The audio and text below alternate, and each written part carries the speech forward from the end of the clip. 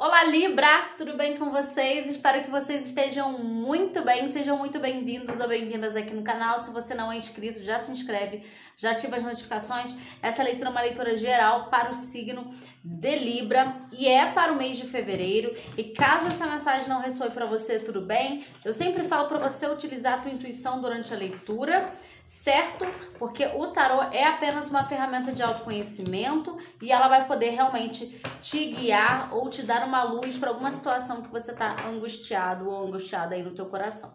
Ok? E caso você não saiba quais são os seus signos complementares do teu mapa, aqui embaixo na descrição tem uh, um e-mail e um WhatsApp de uma pessoa que faz mapa astral, né? Mas é uma. Gente, mas não é gratuito. Gosto sempre de falar isso. Não é gratuito a pessoa vai te passar um valor de acordo com o que você oferecer e fornecer as informações para ele, certo? Então aqui embaixo tem na descrição todos os detalhes, tanto do meu WhatsApp quanto do Instagram e também os dias referentes às postagens de cada signo, ok? Bom, vamos lá? Energia geral para o mês de fevereiro. Vamos ver o que vai prevalecer mais aí no teu mês de fevereiro. Vou utilizar esse tarô novo, esse deck novo aqui, que é o Del Toro. Lindo.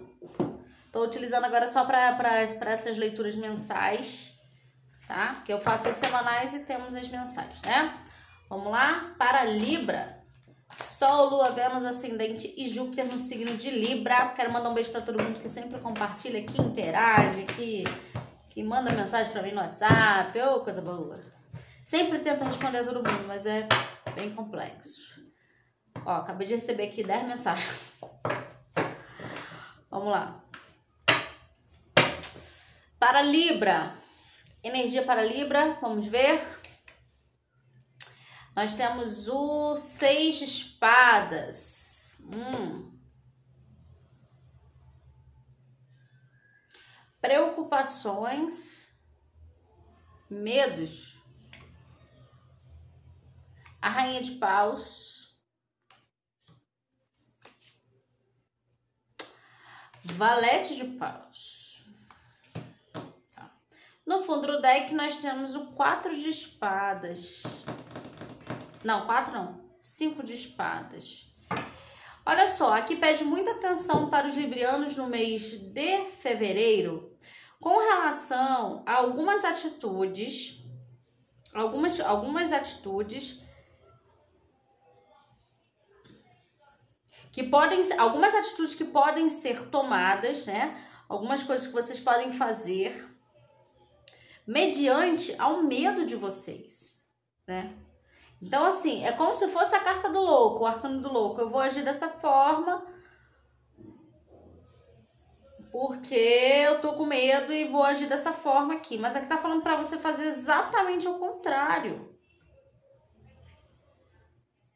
Tá? Porque a gente tem aqui a rainha de paus. A rainha de paus é uma energia que fala de intuição, que fala de confiança, autoconfiança. É, então aqui fala o seguinte, olha. Ouça a tua intuição, não ouça o mental aqui. Não ouça o teu medo. Não, não, não ouça o que as outras pessoas estão dizendo. Informações que chegam. Informa... Eu vejo aqui informações chegando para vocês e vocês querendo agir rápido. Não é isso? Então vamos embora.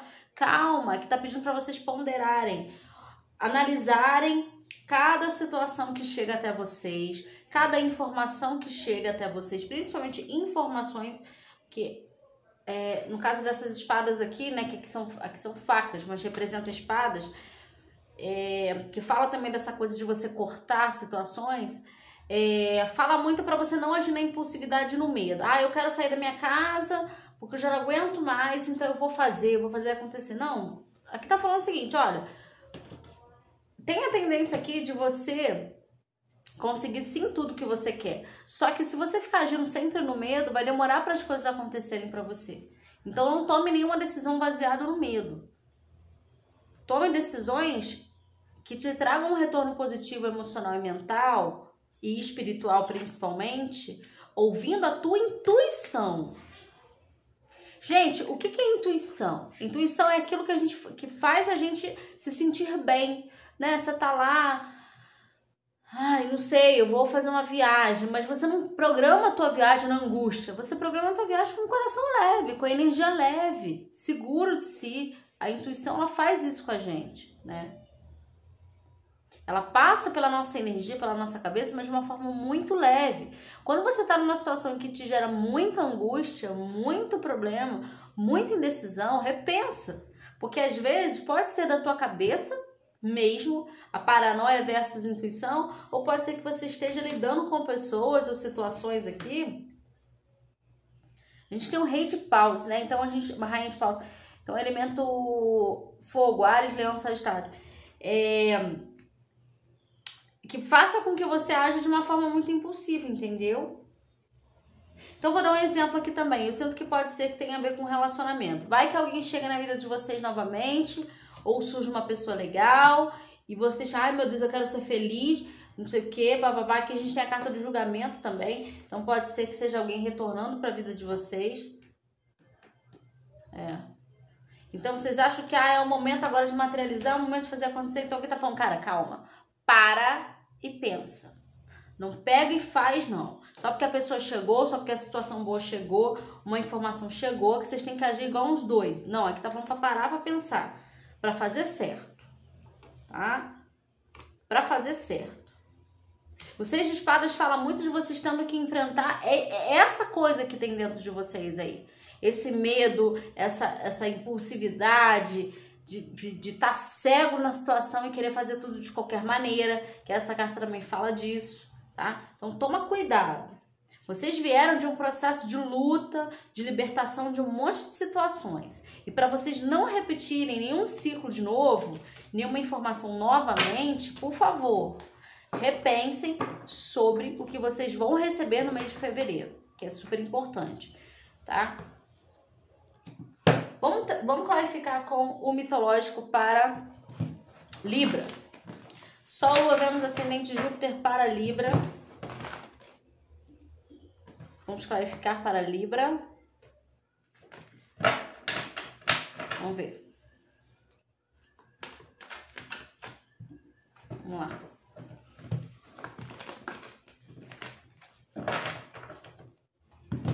E, gente, aqui embaixo tem um link também para agendamento de consultas, tá?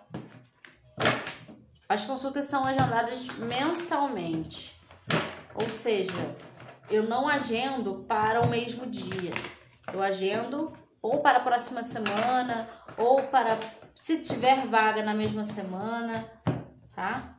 Então, por favor, tenham paciência também com relação a isso. Vamos lá? Para Libra,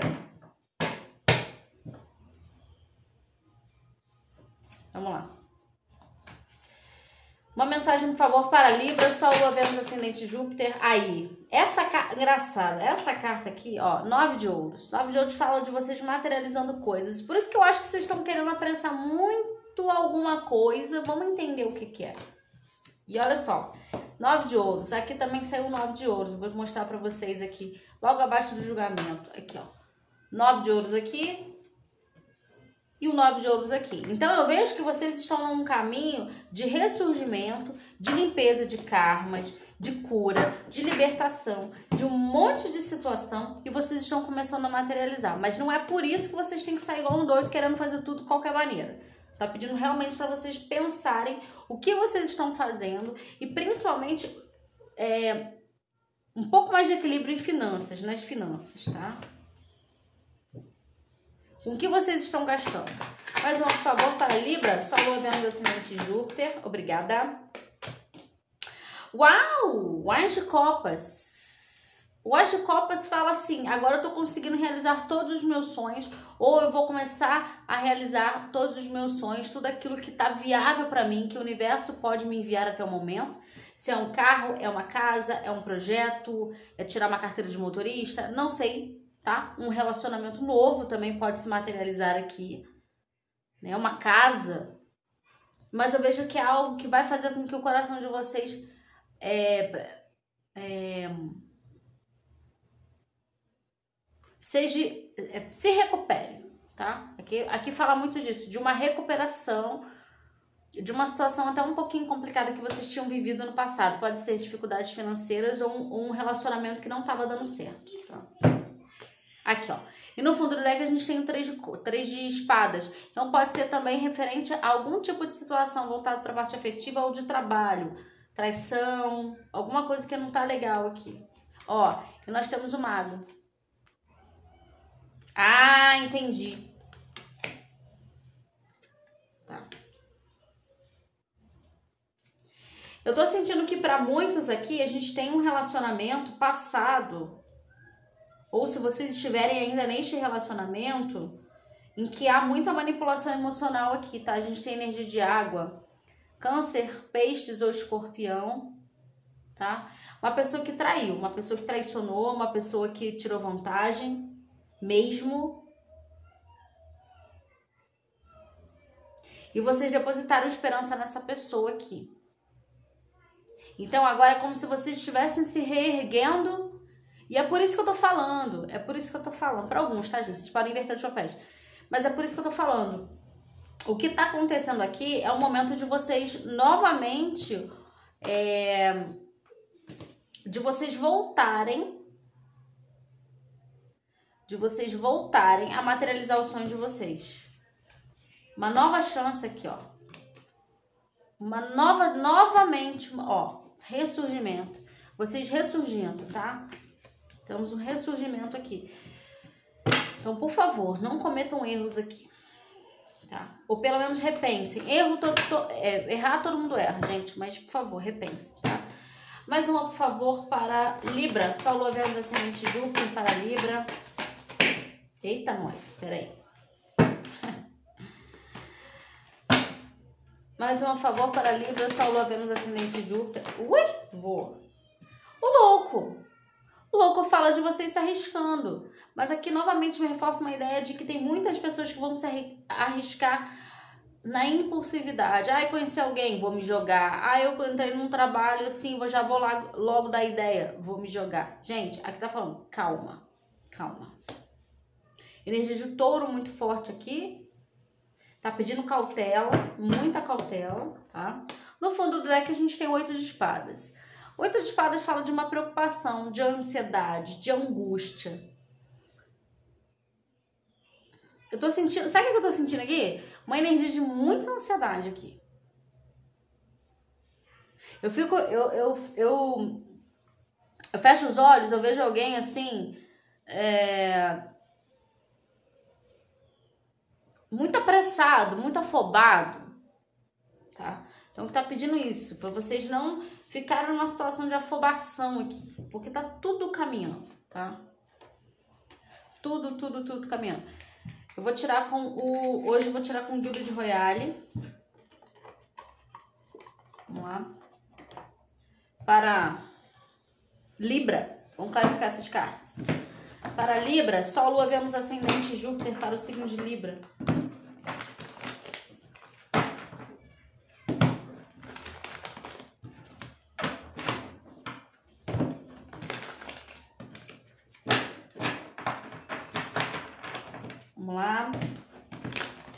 Embaralhando bem essas cartas.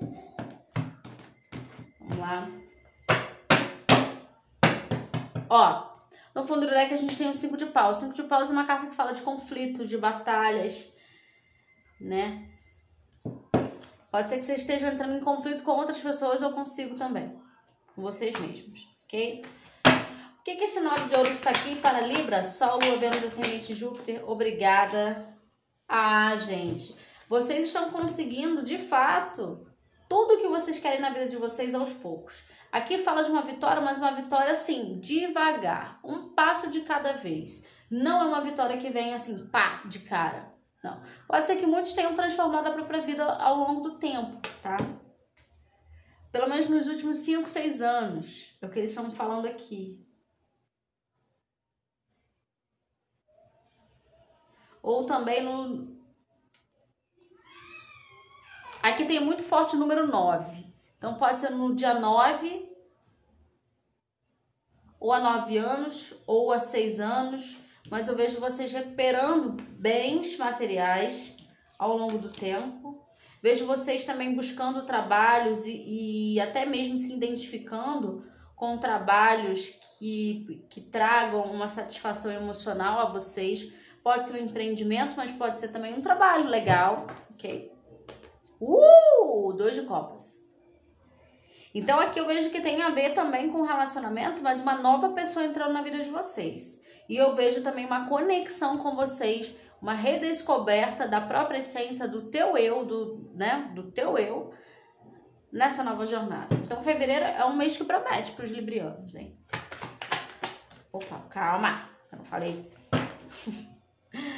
Por que, que esse As de Copas está aqui para Libra? Sol, Lua, Vênus. Uh, gente.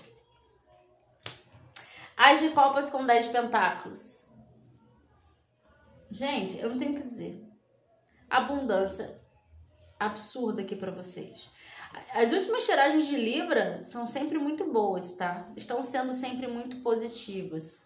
Eu vejo que muitos librianos estão conseguindo atingir um patamar emocional e material bom, bom, né? E para quem não está conseguindo isso, não perca a esperança, porque esta tiragem aqui é para quem está numa vibração de sempre de positividade, tá?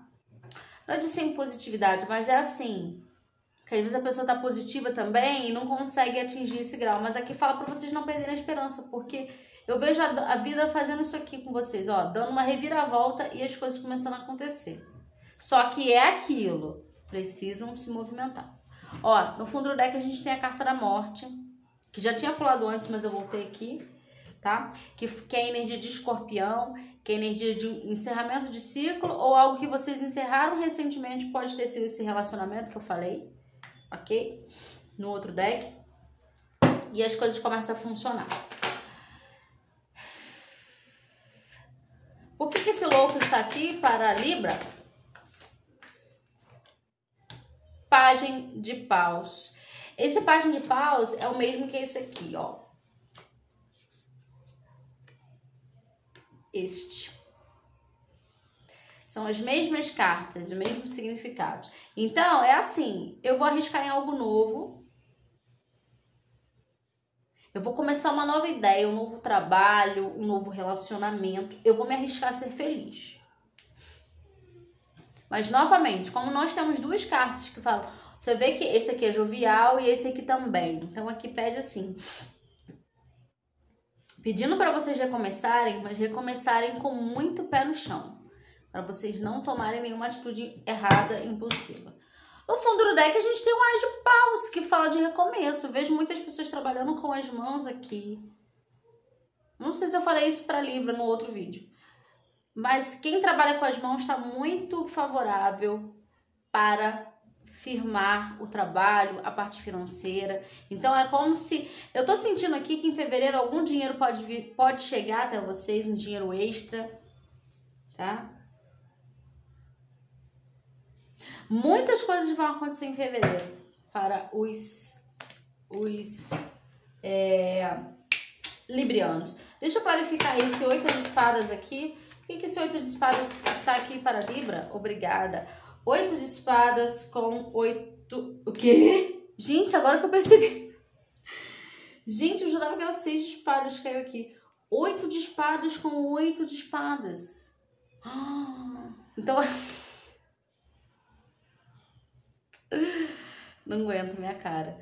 Gente, aqui tá falando assim, cara, vocês estão perdendo o sono, vocês estão ansiosos, preocupados, se sentindo presos a uma situação, noites de insônia, é, tendo crise de ansiedade, um monte de coisa por algo que já está escrito.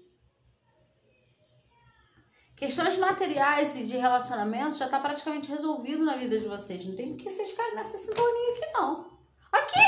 Eu tô falando! Aqui! A gente tem muita energia de alguém de terra. Rei de Pentáculos aqui. Pode ser alguém que esteja ofertando algo a vocês, tá? Ou pode ser energia de vocês também, de materialização.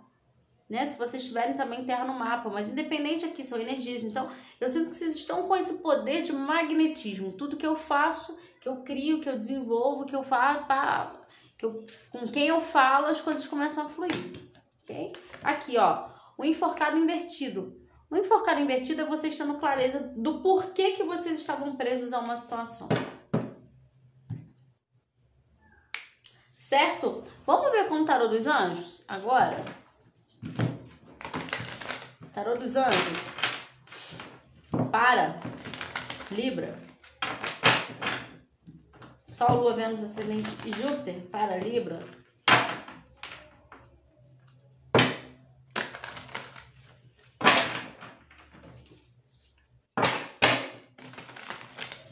Lua, Vênus, Ascendente e Júpiter para Libra.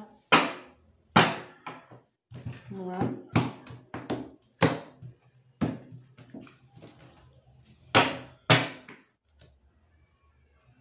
Uma carta, por favor, para Libra, Sol, Lua, Vênus, Ascendente e Júpiter. A Imperatriz. Abundância infinita.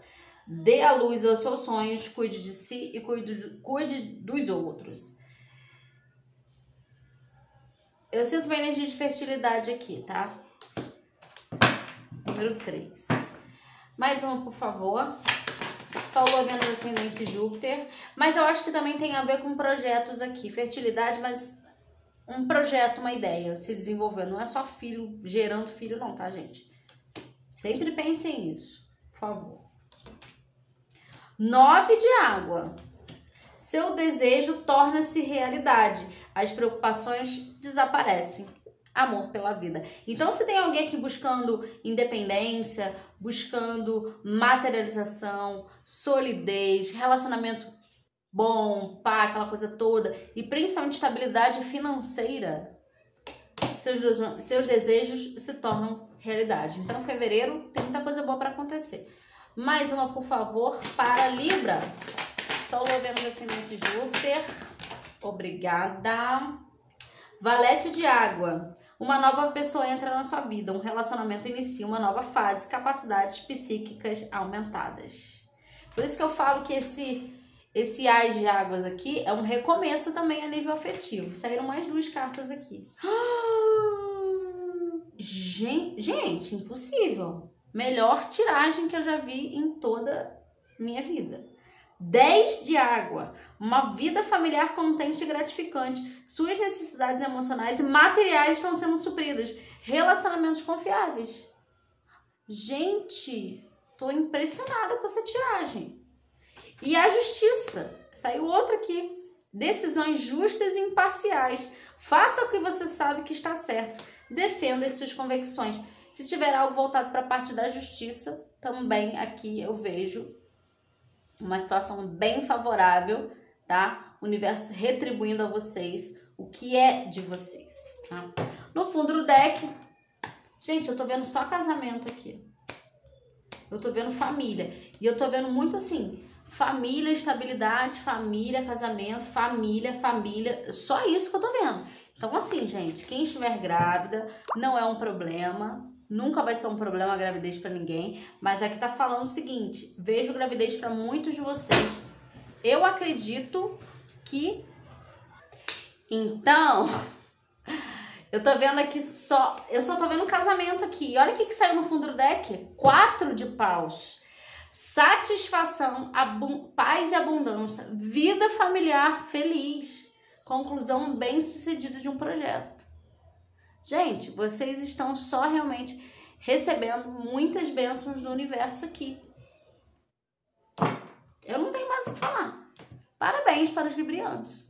É isso, gente. Espero que vocês tenham gostado, porque eu adorei essa tiragem de Libra. Se você gostou, deixe seu like, compartilha, ativa as notificações, compartilha com os amigos, com a família, com o crush, com todo mundo aí que você quiser. E é isso. Em breve tem mais vídeos para Libra e para os outros signos aqui no canal. Um grande beijo para você.